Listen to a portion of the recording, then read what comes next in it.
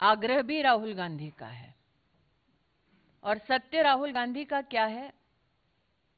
वो आज Delhi high court के इस बयान पर मैंने जो उल्लेख किया, उससे प्रतिस्थापित होता है कि एजेएल के शेयर जो यंग इंडिया को गए, वो ट्रांसफ़र अपने आप में सिरप्चुअस है क्लैंडिस्टाइन है, और यंग इंडिया के माध्यम से कैसे एजीएल की प्रॉपर्टीज़ हड़प कर सके कोई? उसका मात्र एक कागज़ी साधन है। नीरज पांडे एबीपी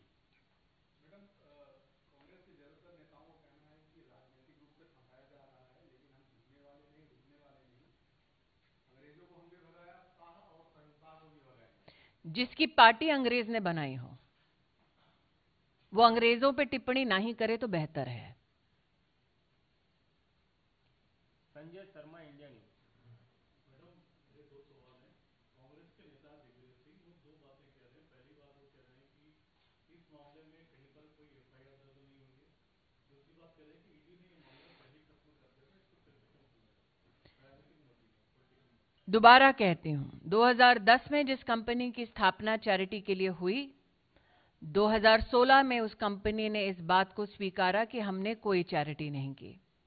जिस कंपनी को कांग्रेस पार्टी ने 90 करोड़ का लोन लिया, उस कंपनी के लिए लोन कांग्रेस पार्टी ने माफ़ किया और उसका मालिकाना हक गांधी खानदान के पास दर्ज कराया।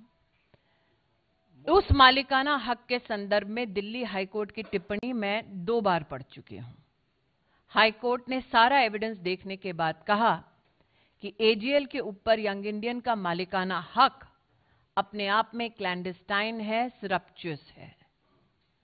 आज ईडी या इन्वेस्टिगेटिव एजेंसीज के ऊपर इस प्रकार का दबाव डालना, कहाँ तक लोकतंत्र और संविधान का सम्मान है, इस प्रश्न का उत्तर निश्चित रूप से गांधी खानदान को देना चाहिए। क्यों एक कंपनी जो अखबार का प्रकाशन करती थी और अब रियल एस्टेट का धंधा करती, उसमें गांधी खानदान की इतनी रुचि है? इसका मतलब रियल स्टेट से मोह मात्र जीजा जी का नहीं पूरे खानदान का है। Mohit Bhatt Times Now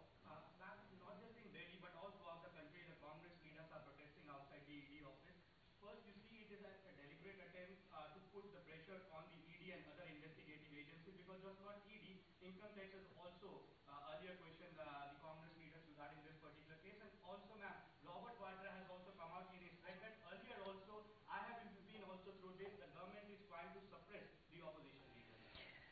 Firstly, the Congress is hardly opposition. Secondly, Robert Vadra is hardly in a position to give character certificates. Thirdly, I have here, through this press conference, highlighted the entire course of action. And lastly, the fact that this entire economic transaction between AGL and Young Indian has been reflected upon by the Delhi High Court. The Delhi High Court has made a statement. Can that be denied by either the Gandhis or the Vadras? My question to the Gandhi Khandan again is this. What is your relationship with one of the companies of a Hawala entry operator, namely Dotex Merchandise Private Limited. Why would the Congress party waive off a 90 crore loan? And what is Rahul Gandhi's interest in real estate businesses, which are now worth 2,000 crores? आज तक आपने कोई भी ऐसी company देखी है जिसको बनाने में चंद लाख रुपए लगे और जो मात्र शेयर ट्रांसफ़र के माध्यम से 2000 करोड़ का मालिक बन जाए बिना एक इकोनॉमिक एक्टिविटी किए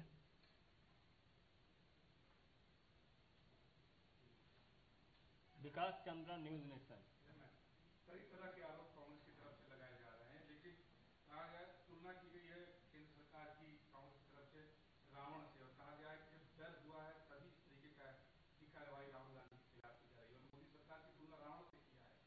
जो राम का अस्तित्व नहीं मानते थे अब रावण की बात करते हैं। भारत समाचार। और कांग्रेस पार्टी रावण के ऊपर टिप्पणी नहीं करेगी तो और कौन करेगा?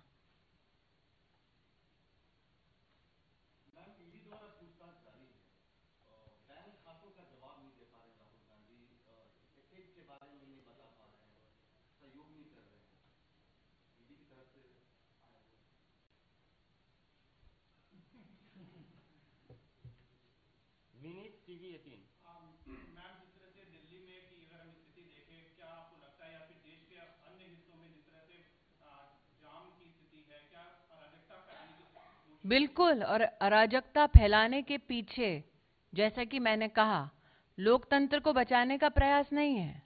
अराजकता फैलाने के पीछे प्रयास है राहुल गांधी की 2000 करोड़ की संपत्ति बचाना। Anindya TV nine.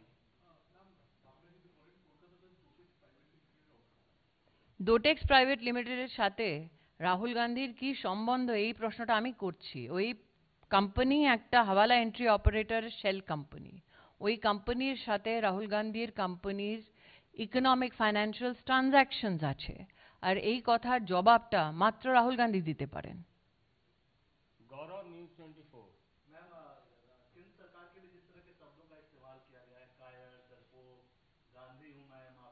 भाई ऐसा है। डरपोक वो होता है जो दुनिया भर से लोग बुलाए कि आओ मेरी मदद करो। और आप गांधी खानदान से संस्कार की अपेक्षा कर रहे हैं। Republic TV.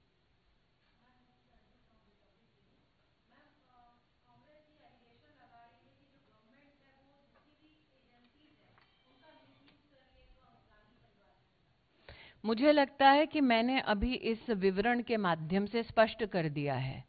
साल 2008 में गांधी खानदान की कंपनी ने कहा कि हम अखबार का प्रकाशन नहीं करेंगे, रियल एस्टेट का धंधा करेंगे। साल 2010 में जब हमारी सरकार नहीं थी, तब गांधी खानदान ने एक ऐसे कंपनी की स्थापना की जिसके माध्यम से उन्होंने 2000 करोड़ की संपत्ति हड़पी और इस संदर्भ में एजीएल और यंग इंडियन का जो संबंध है, इसके संबंध में 2019 में दिल्ली हाई कोर्ट की टिप्पणी मैं ऑलरेडी यहाँ पर बता चुकी हूँ।